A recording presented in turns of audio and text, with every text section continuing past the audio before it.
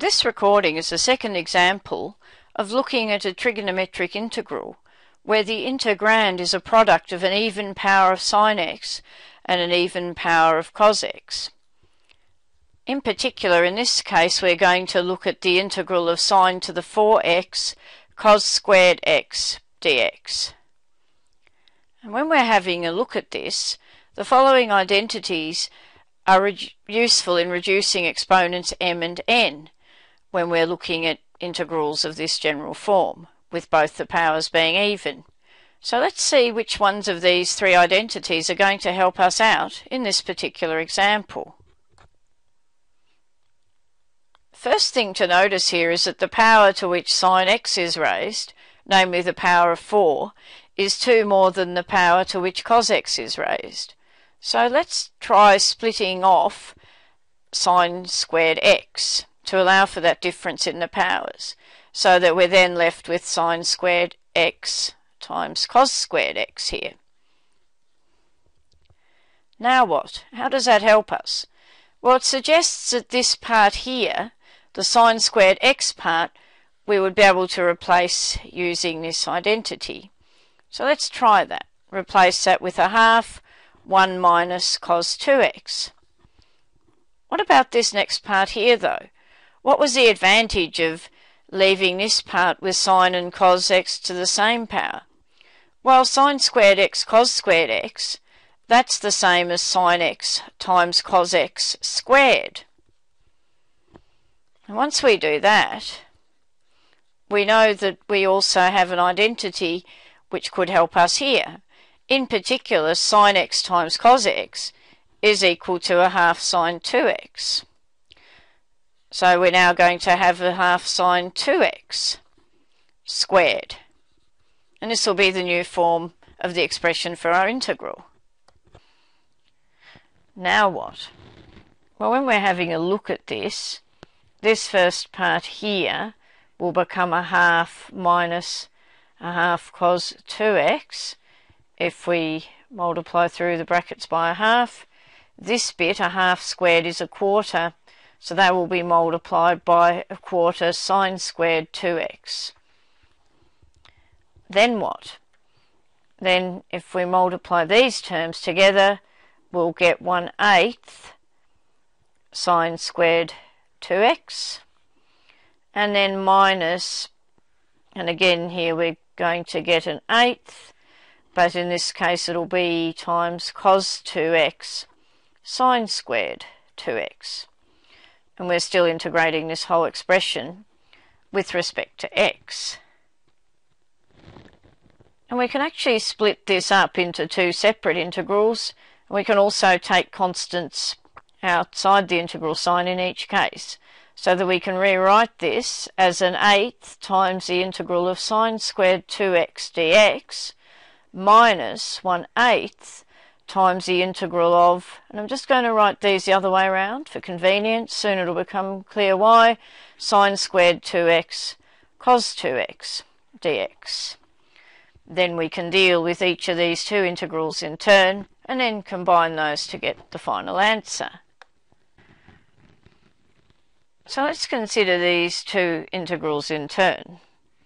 Now this first part here 1 8 times the integral of sine squared 2x dx.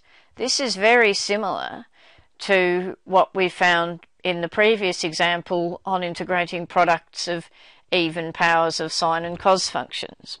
In that recording, we found that in fact the integral of a quarter times sine squared 2x dx was equal to x divided by 8 minus 1 on 32 sine 4x plus c. I'll call that c1 there for convenience. Therefore, it follows that 1 eighth times the integral of sine squared 2x dx must just be a half of that result. That is, it must be x divided by 16 minus 1 divided by 64 sine 4x plus a constant. What I want to spend more time on is focusing on how to deal with this second part then, the integral of sine squared 2x cos 2x dx, which is also multiplied by 1 eighth here. So let's now focus on that part. So this is the bit then we're going to now focus on. 1 eighth times the integral of sine squared 2x cos 2x dx. What do we do with this? Remember that when we're saying sine squared 2x, that's just another way of writing sine 2x all squared.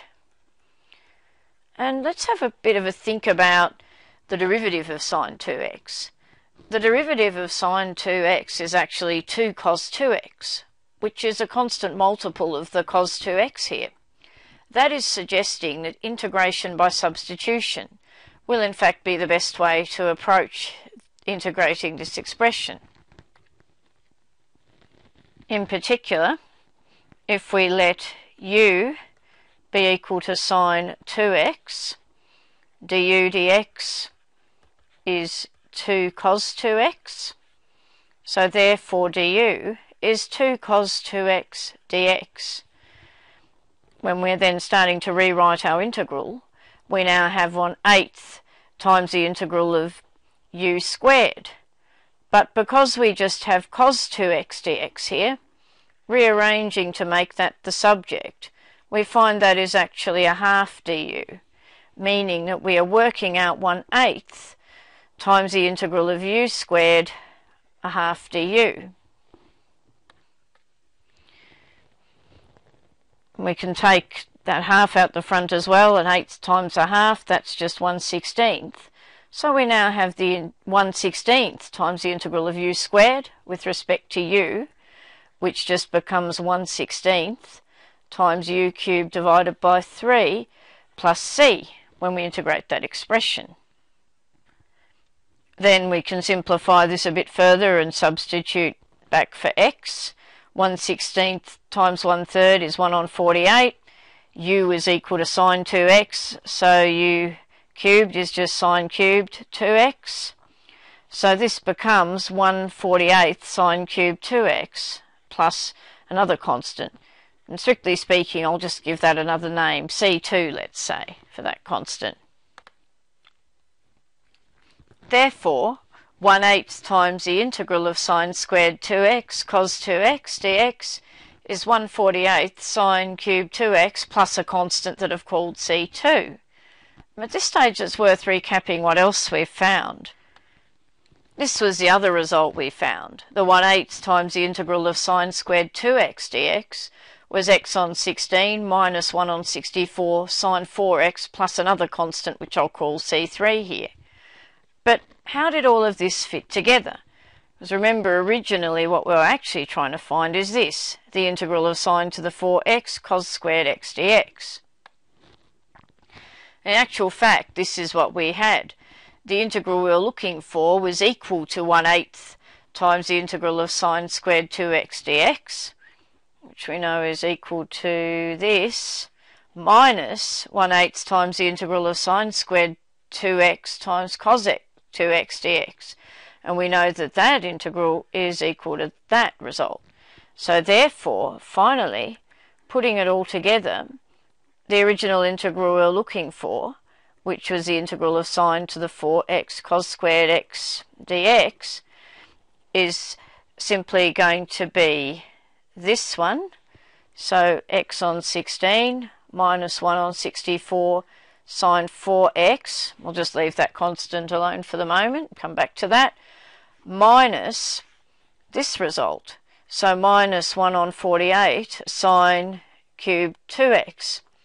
And on the end we'll have plus c3 minus c2, which is just another constant which I'll call c. So this would be our final result for the integral we started with. So it's easy to get caught up a bit in all of the steps. How do we proceed with something like this? Well, the main thing to remember is that because we're dealing with an integral that's a product of even powers of both sine x and cos x, these identities or some of these identities are what are helpful initially. And it's then pretty much a matter of splitting it up progressively to get the required result. Often in these cases, integration by substitution will also play a useful part.